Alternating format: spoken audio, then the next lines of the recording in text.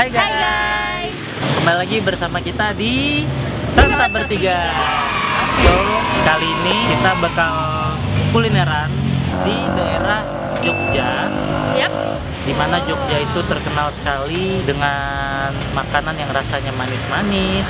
Beraneka ragam lah ya. Eh, enggak, tetap yang terkenal itu manisnya, Jogja itu. Oh gitu. Manis tuh nomor satu di Jogja. Cuman kali ini kita makan yang sedikit berbeda di luar dari konteks Jogja. Apa itu? Kita mau makan mercon, oseng mercon ya. Oseng mercon yang mana itu manis men. Eh pedes men. Pedes, pedes, pedes. Manis lagi. Yang mana itu pedes men. Jadi ini kan sesuatu yang berbeda nih dari Jog dari Jogja sendiri. Oseng merconnya ini ini Kita bakal makan di mana?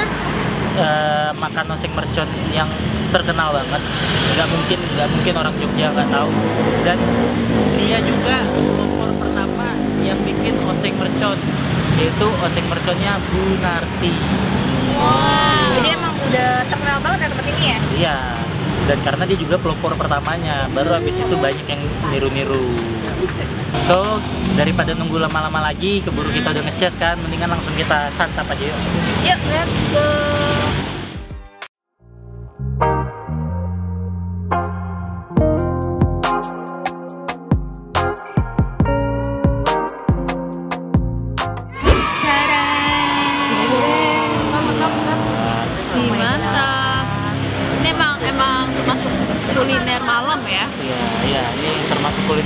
Dan yang paling dicari. Bayangin lagi lagi apa? Lagi corona aja. Weekday ngantri dan udah mau habis coy ini baru jam berapa sih ini? Baru jam 9 Iya. kayaknya deh.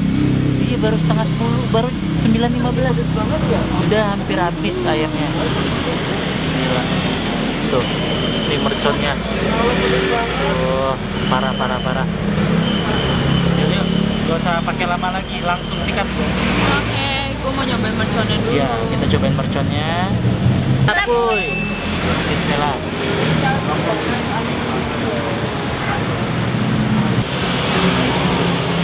Hahaha.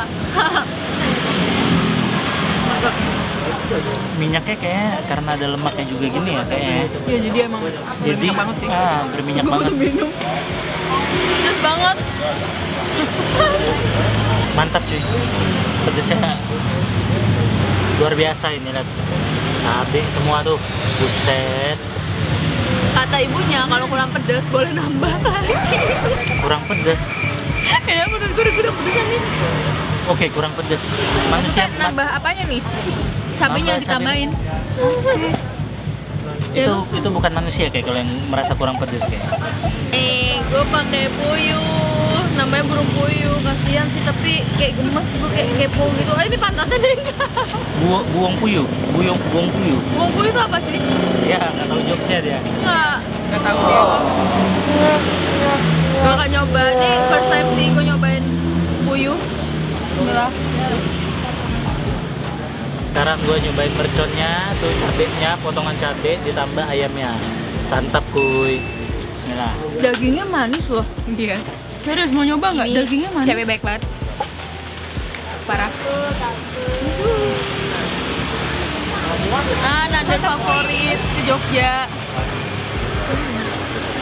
Nyobain burung puyuh. Santap kuy. Oke, ini tangan gue udah bersih ya.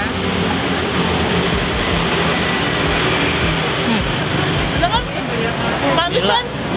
Juicy minyak ayamnya, lemak ayamnya. Hah? Ayam burung. Burung gue. Kayaknya dia pakai bumbu itu ya, kayak bumbu apa bacem gitu nggak sih? Iya kayaknya ya. Saya Kecap gitu ya? daging, ya dagingnya manis. Nggak Oke. dagingnya. Ini berarti bener masakan nih. Enak. Boleh jujur nggak? Apa? Gua baru pertama kali nyobain daging burung. Sama.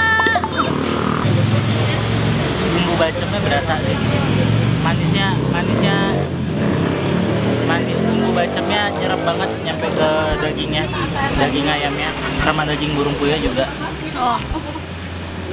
Santap kuy. Terus apaan sih bumbu mercon ini? Ada emang khusus dari Iya. dari lemak sih. Iya iya.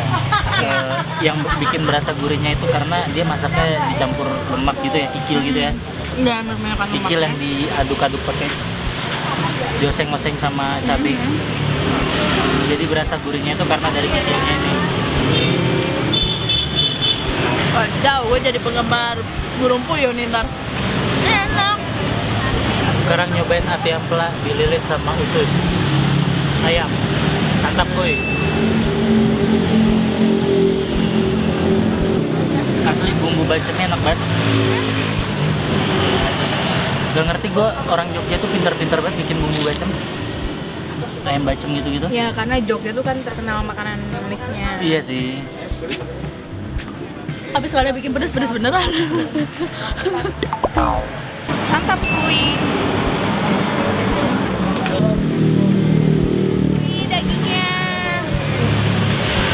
Dan gue akan memadukan dengan merconnya. Mantap kuy. Wah, suara gue udah hilang. Tambah merconnya lagi. Masuk ke mulut gue lagi. Santap kuy.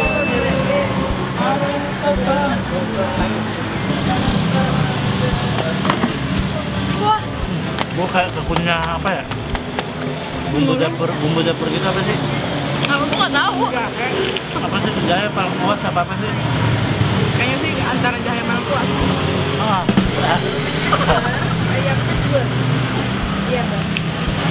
Jadi sebenarnya mercon bukan mercon-mercon gimana ya?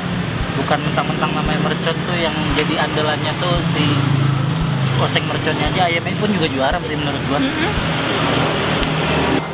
Ayam bacemnya di pakein cabe. Hah. Yang lain nyari keringat, cara nyari keringatnya sepedaan malam-malam kita kayak gini aja udah dapat keringat. Nih, ususnya dengan isi ati ampela di dalamnya. Makan pakai mercon. Santap kuy. Oh my god. Wah, kok baru berasa sedusnya. Anjir dilebat. Nilainya parah banget men. Goblok. Aku nyerah. Aku nyerah.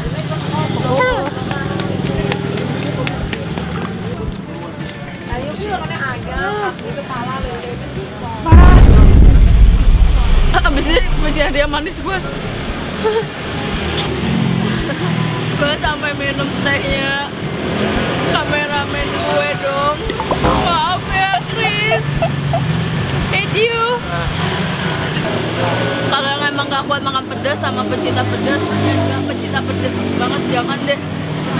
Atau mungkin bisa makan ayamnya aja sih, bisa boleh kok. Enak juga ayamnya, emang harus dicoba masakannya semuanya. Tapi ini kalau kelewatan pedas. Tapi buat kalian penantang kuliner, wah cocok banget kayak ginian. Gua ambil 12 dan ini masih berhasil, masih ketinggal masih ketinggal di tenggorokan kok bisa sih delay gini dah Pakai. Ibunya pakai magic magic Tadi belum lah. Nasban. Santap kuy.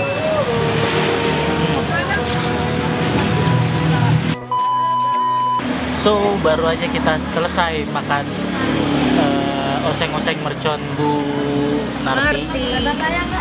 Dan ini harus gua akui pedesnya pol sih. ninggal loh di lidah dilangit-langit Iya iya. Gak tahu ini ninggal deh pokoknya bikin, semua. bikin bibir kayak dut dut Iya. dut dut dut. Bibir gue tambah. Untuk beberapa orang sih ada efek sampingnya perutnya jadi panas sih. ini gue rasain sekarang Tapi gimana? Enak. Kayak kalau pedes tuh kalau nggak dita nggak diterusin tuh kayak Iya. ya nanggung sih kayak nanggung sih bener parah parah terus juga ayamnya eh, bumbu apa? Bumbu Bacem. bacemnya. Asli di sini tuh ternyata nggak yang juara itu bukan merconnya aja sih. Ayamnya juara burung puyuh juara. Sayangnya kita nggak ada yang pesan lele sih ada lele tadi juga. Iya. tapi gue jadi pencinta jadi kayaknya boleh gue mencoba burung puyuh lainnya. Burung puyuh lainnya. Iya karena ini enak sih termasuk enak. Let me try. Warna si ayamnya burung puyuhnya itu asli banget sih Iya, banget, tempting kayak banget. kayak golden gitu ya Iya. Iya, brownie golden ya gitulah. Tapi emang- shining shining shimmering gitu lah. Looksnya sih kelihatannya keras. Awalnya gue melihat tuh kayak keras. Makanya gue tadi sempet tanya sama penjualnya, bu ini tuh yang alot atau yang empuk gitu. Nah dijawab ternyata kan empuk. Nah pas itu gue coba, eh ternyata empuk beneran. Iya, Kalian iya. coba kan? Iya, burung puyuh empuk, daging ayamnya juga empuk. Cuman sayangnya gua nggak kebagian dada di sini. Bayangin aja jam 9 jam setengah 10 di bagian dada udah habis men. Iya terus ayam yang tadi itu terakhir tinggal buat kita doang ya? Iya tadi tinggal tinggal Tinggal dua. empat apa ya? Si pokoknya Iya, kita iya. ngambil tinggal dua. Iya. Tinggal Makanya. dua artinya kan bayangin aja tinggal berapa itu. Padahal Padahal baru jam segini gitu loh. Iya. Jadi kayak kalau kalau lu lu pada datangnya agak malam dikit sih menurut gua nggak akan kebagian sih. Iya. emang rame Yap, dan antri. yap dan antri. Dan mau tahu nggak sih nilai plusnya apaan? Mau tahu nggak? Apaan? penjualnya baik banget cuy ramah friendly nggak ngerti lagi enak aja kayak friendly banget sama sama pelanggannya itu loh itu kan yang menjadi nilai plus kita jadi malah betah kayak gitu kan untuk bolak balik ya gak sih Yap. Untuk harganya eh, kita berapa kisaran kisaran 40 ribuan ya. Ya 40 ribuan itu Kisaran udah 40 ribuan dapat nasi, mercon, mercon sama ayam. ya sama ayam. Pokok tuh ya kalau di total totalin tadi gua ngambil, lu ngambil apa sih tadi? Iya itu gue nasi mercon sama ayam. Nasi mercon ayam. Gua nasi mercon ayam tambah apa? Ya Am- iya, ampela ampela. dililit sama usus. Terus kalau lu ngambil apa? Puyuh terus mercon terus nasi gue itu doang Ah, Terus tambah kameramen kita itu ngambil nasi ayam. Oh, nggak pakai dia nggak dia nggak pakai ayam dia sama Oh, dia nggak pakai ayam. hati. Jadi cuma nasi, ati, mercon. Terus ditambah minum 5, ditambah kerupuk satu, itu total makan kita di sini tuh 220 ribu. Itu sebanyak itu cuman segitu. Itu menurut gua murah sih. Jadi ini eh, kalau yang mau makan sini tuh lokasinya di mana sini? Eh, jadi lokasinya itu di Jalan Kiai Haji Ahmad Dahlan.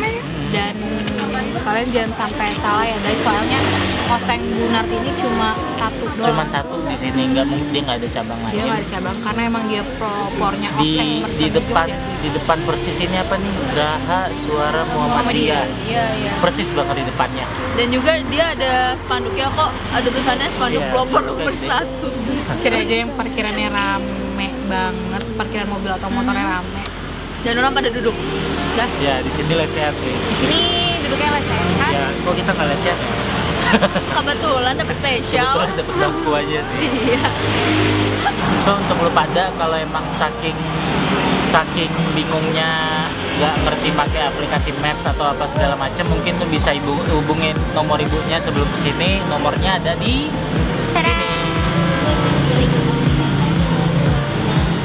So, sekian dulu video startup kita kali ini.